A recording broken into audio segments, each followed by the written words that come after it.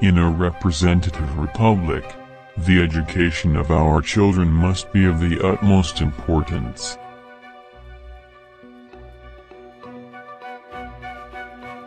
We must support our rights or lose our character, and with it, perhaps, our liberties.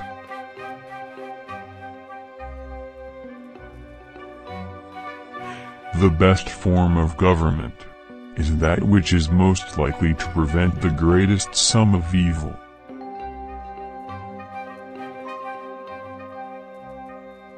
The right of self-defense never ceases. It is among the most sacred, and alike necessary to nations and to individuals.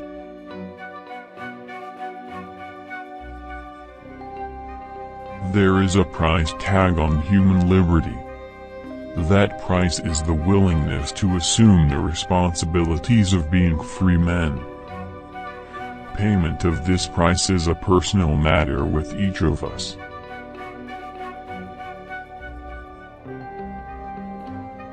It is better to spread trust all around than to hand out money.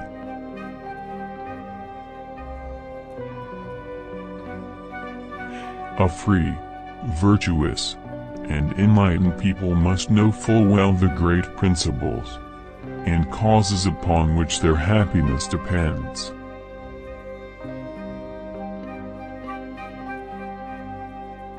Our country may be likened to a new house.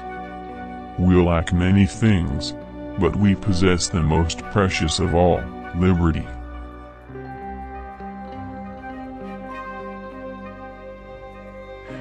The liberty, prosperity, and the happiness of our country will always be the object of my most fervent prayers, to the Supreme Author of all good.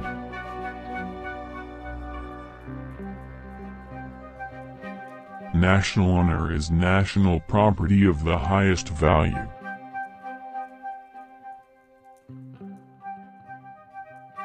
If it was wise, manly, and patriotic for us to establish a free government, it is equally wise to attend to the necessary means of its preservation.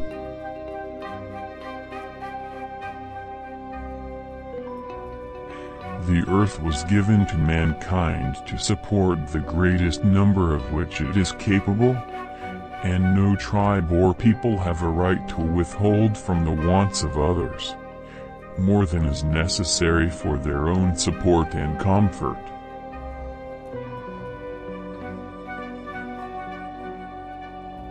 A little flattery will support a man through great fatigue.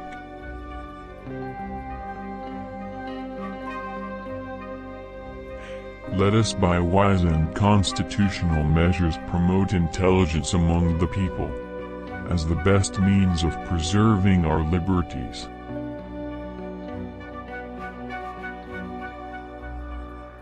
It is only when the people become ignorant and corrupt, when they degenerate into a populace, that they are incapable of exercising their sovereignty.